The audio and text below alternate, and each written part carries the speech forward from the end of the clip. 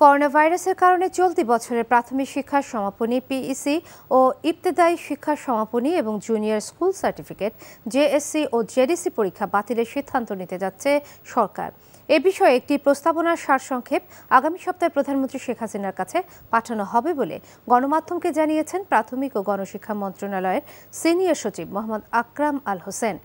প্রধানমন্ত্রী অনুমোদন দিলেই মন্ত্রণালয় থেকে আদেশ আকারে জারি করা হবে বলেও জানান তিনি। শিক্ষা প্রতিষ্ঠানগুলো নিজেরা শিক্ষার্থীদের মূল্যায়নের ভিত্তিতে বা সম্ভব হলে সংক্ষিপ্ত সিলেবাসে পরীক্ষা নেবে পরবর্তী ক্লাসে উত্তীর্ণের জন্য প্রস্তাবনায় উল্লেখ থাকবে। করোনার কারণে গত সাত সতেরো মার্চ থেকে দেশের সব শিক্ষা প্রতিষ্ঠান বন্ধ রয়েছে। কয়েক দফায় ছুটি বাড়িয়ে এখন তা একত্রিশ আগস্ট পর্যন্ত করা হয়েছে। ছুটির কারণে এইচএসসি পরীক্ষাও নেওয়া যায়নি এখন পর্যন্ত।